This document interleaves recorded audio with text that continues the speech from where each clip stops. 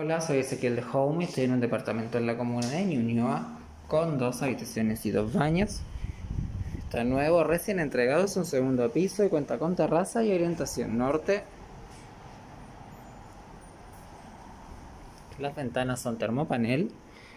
Tiene piso flotante en todo el departamento. La cocina está equipada con encimera, horno y campana.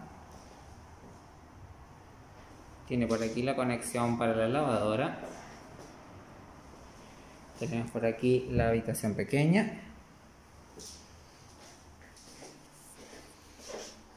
Con su closet y su baño en suite.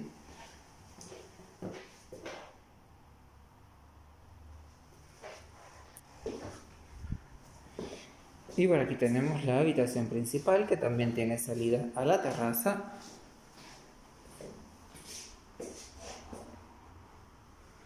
Tiene walking closet.